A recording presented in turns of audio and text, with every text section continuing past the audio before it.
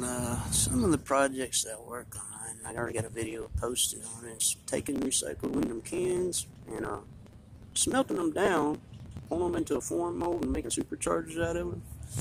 The other aspect of it was that schools, all these schools, taxpayers paying to fund all these schools, and they have machine shops and fab shops and electronics, have all those Votech educational classes and they could utilize the equipment and space in those schools with those facilities to make its own money.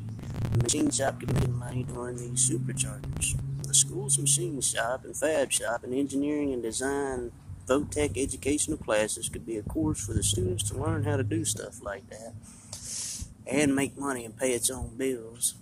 And of course, I expect to be I expect to be financially compensated about ten thousand dollars a year. Every school that would do it I'd get paid ten thousand dollars a year. Literally, take all these recycled aluminum cans, take all the aluminum cans out of the trash cans, smelt them down, pour them into some form molds, and machine that stuff into superchargers for for vehicles, motorcycles, four wheelers, boats, and be a way for the schools to utilize their facilities to make money to pay their own bills. And yeah, it's in the middle of this COVID crap, and everybody's talking about how they wondering how they're going to finance paying for people to keep the schools sanitary, sanitized from COVID crap. I've been saying that for years. All these schools sit dormant through the nighttime, not all night long. All that stuff sitting there costing money, not making money. All through summertime, they're sitting there costing money, not making money. Those machine shops, the carpentry shops, the electronics, all those vocational educational facilities could be used to make money literally had the students sitting there learning how to make superchargers out of recycled aluminum cans. Schools would be making money, and I would. I'd get paid ten thousand dollars a year from every school that starts implementing the program to utilize the school's facilities and equipment to make its own money and pay its own bills. And yeah, I'd expect my financial compensation on it about ten thousand dollars a year.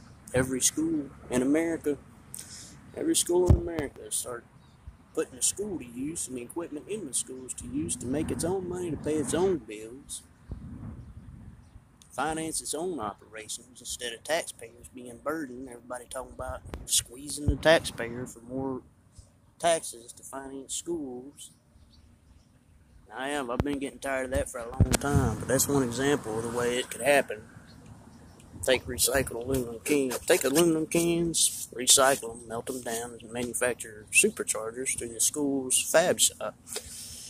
During the day, the school the students would be learning how to do their engineering and design, and all through the nighttime there'd be a team of individuals there running the operations at mass production, mass produce the products, put it out on the market.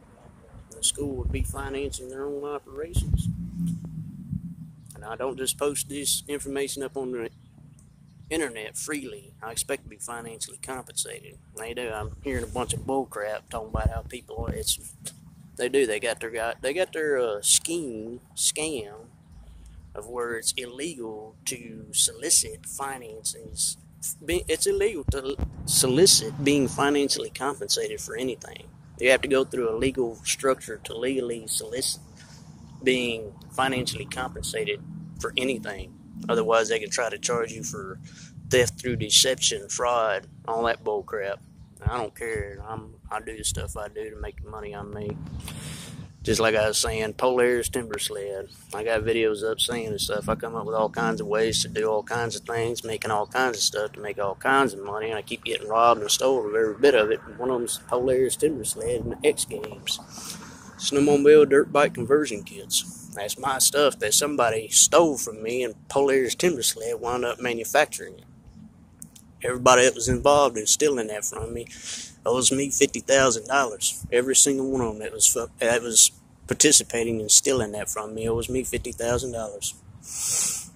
Everybody that keeps buying Polaris' equipment that's aware of what the, what's happened owes me money but anyway, that's another example I figure I'd post up on my YouTube channel, being another example of how I do what I do, and I don't have to put up nobody's crap.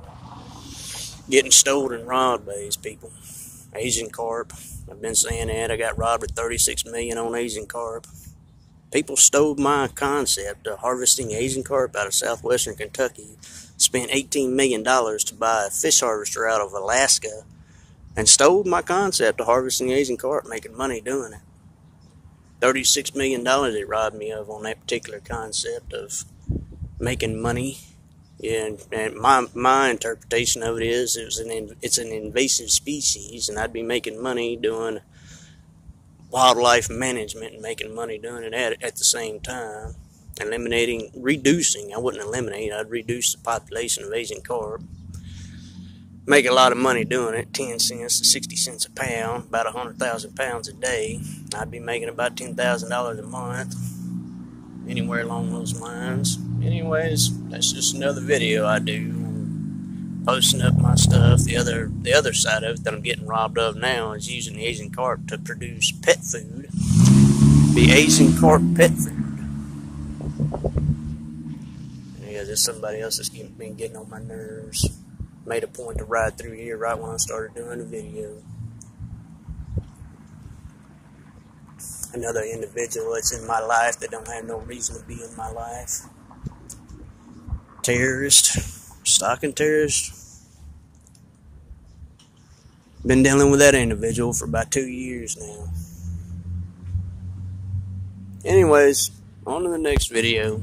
It's like I was saying, this particular video is associated with me being financially financially compensated with practical, constructive, productive concepts and getting paid for my services having the schools open up their fab shops and equipment and using their facilities and equipment for the schools to pay their own bills instead of taxpayers having to foot the bill. Schools would be manufacturing and mass producing superchargers out of recycled aluminum cans. It's like I was saying, I expect to be financially compensated $10,000 a year for every school that does it uh, anybody and everybody that wants to steal and rob from people like me, they got it coming to them. They are. They're a bunch of parasites, scandalous, low-life individuals going around stealing and robbing from people, destroying their lives. I'm going to have to stop this video. It's running out of recording storage, memory storage.